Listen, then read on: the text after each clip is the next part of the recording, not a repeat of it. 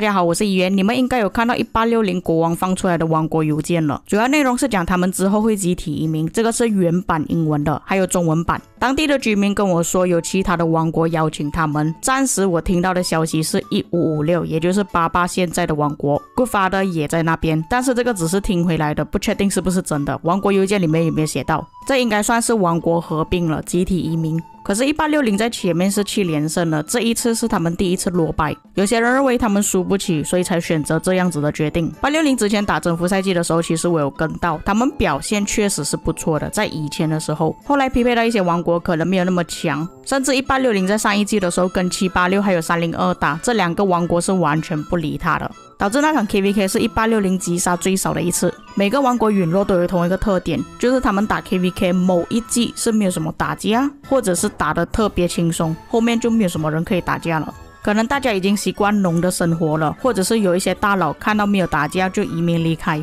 但是根据这一次八六零的表现数据来看的话，其实八六零死的兵是最多的。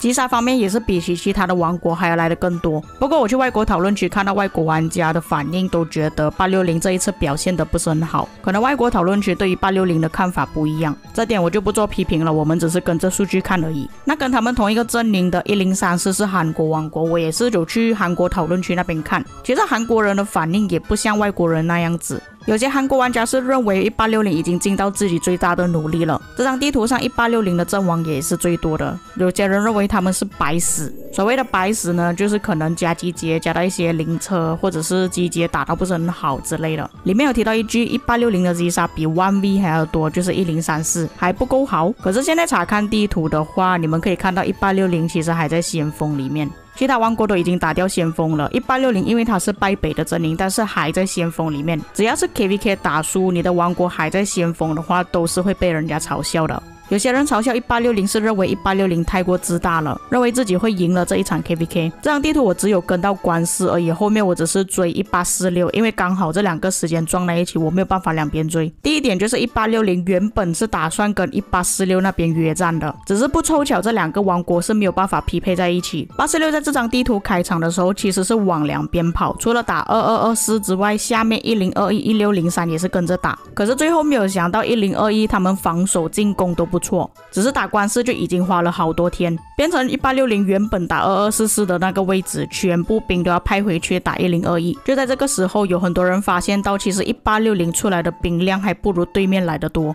就连一八六零当地的居民借我账号的玩家都有跟我讲，一八六零这一次是真的很少人出来打架，野仗打不过，旗帜也守不住。但是他们只是打下面的一零二一而已，就已经表现成这个样子了。试想一下，原本一八六零他们想要往右手边去跑，打二二二四之外，还要打一零九三，一零九三也是这张地图的先锋王国之一。如果他们真的是这样子跑的话，最后的结果又会是怎样呢？也有不少的玩家认为一零三四一直在帮一八六零。